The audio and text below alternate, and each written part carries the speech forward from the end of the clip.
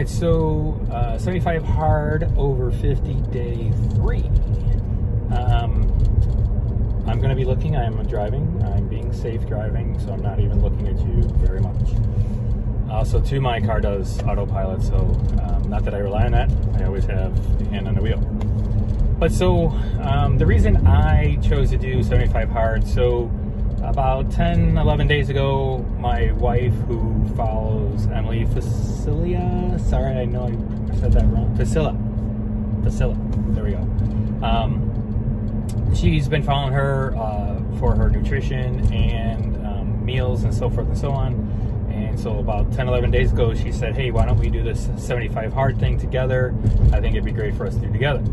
Uh, I'll be honest, I initially looked uh, or she gave me the brief overview of it right away, and I said, no, I, ain't, I ain't doing something like that. Um, so that being said, uh, that was a very ignorant response of me without researching it first. Uh, so then I started researching it, and um, as I was researching it, I was already starting my uh, macro diet, which is clean eating, all right, which I do clean eating. Um, and I was kind of already doing two days anyways, three days a week. So I went ahead and I researched it more, and then I loosely started following it. Um, so even though I'm on day three, uh, technically I'm probably on day eight or nine, just without the picture, so it doesn't count. And uh, in doing it, I gotta tell you though, my macros were a little off. I was too under in the beginning. Um, I hit a wall on like my day two of eight or nine, you know, uh, when I was prepping for it. And uh, my, I mean, my body was shutting, not shutting down, but physically I was drained. Uh, I was starving, of course. And then I adjusted my macros too high, um, which was okay. Uh, I, I, spiked in weight. I know it's a very small um, sampling that I'm going off of, uh, but my, my weight kind of jumped up. Uh, so I tweaked the macros a little bit more. Now I'm about 2,600 calories a day um, of all healthy eating, that seems to be right on target. Um, so once that kicked in, uh, for about the last four days, three days, everything's been going great. I, I, do still find myself hungry. I do need to eat when I'm supposed to eat. Uh, my schedule is uh, give or take a half an hour to an hour, uh, six o'clock, nine o'clock, noon, three o'clock, six o'clock.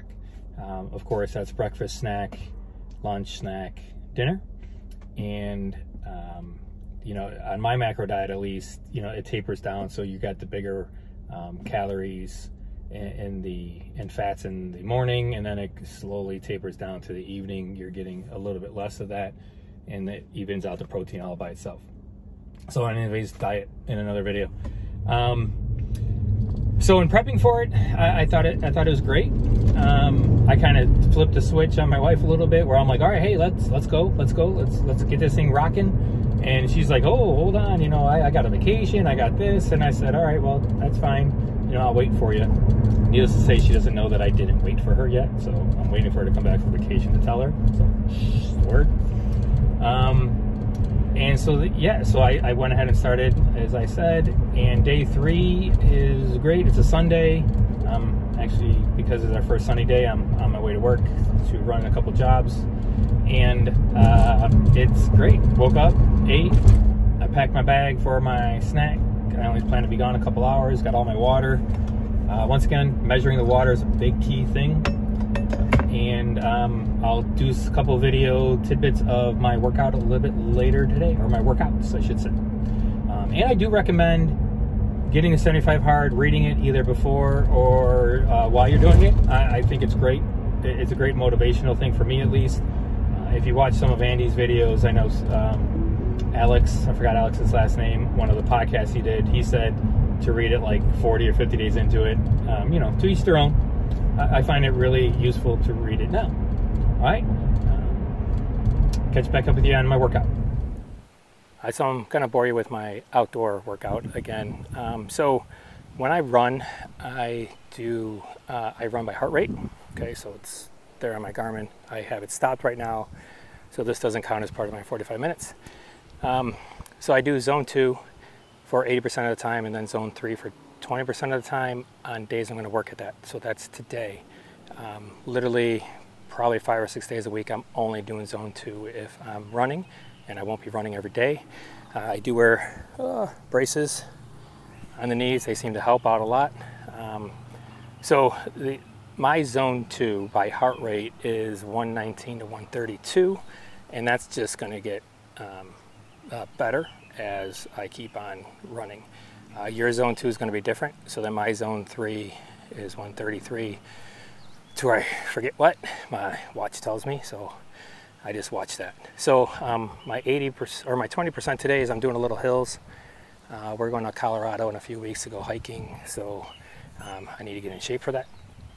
I think I am going to get enough shape for that now, but might as well just do some jogging up of some hills. So uh, sorry I did a video of me doing that. We'll see how that turns out. But uh, yeah, so this is my outdoor day three.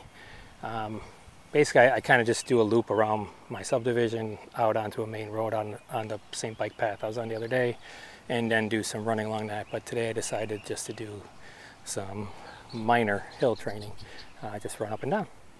All right, I'll catch you inside.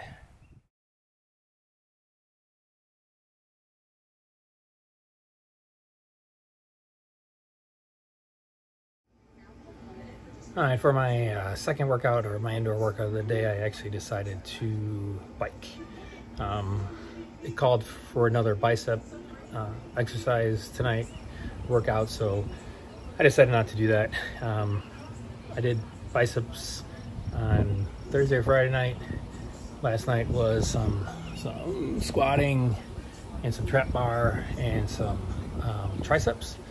So I didn't want to start doing uh, biceps again tonight. So one thing I did learn by researching on, and excuse my bopping, but I'm literally riding right now.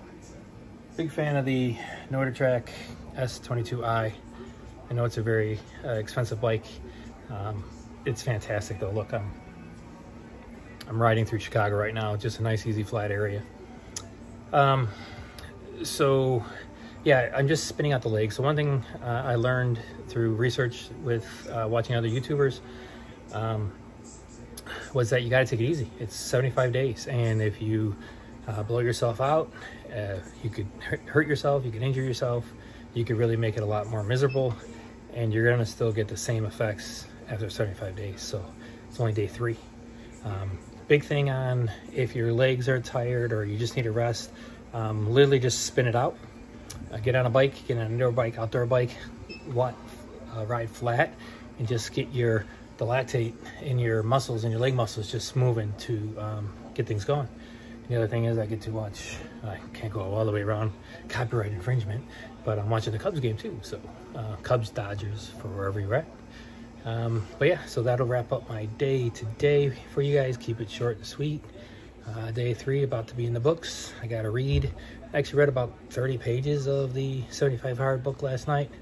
Um, it's really easy reading. Uh, Andy spaces out his sentences and paragraphs a lot. So uh, see you tomorrow. Hang in there.